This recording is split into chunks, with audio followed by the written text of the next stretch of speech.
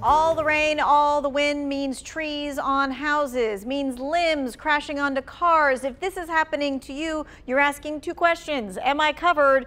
And who pays? Well, let's make it really clear for you.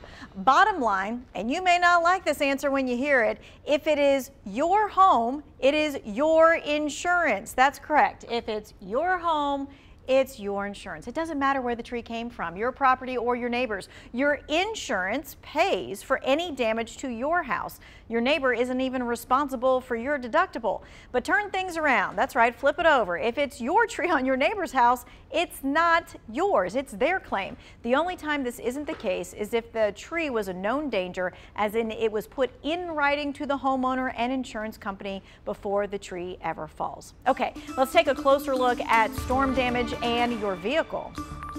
Comprehensive uh, coverage is really for for acts of nature, things like hail damage, uh, hitting an animal, lightning, flood, uh, a limb falling on it. So if this happens, it's your comprehensive coverage on your auto insurance policy that pays.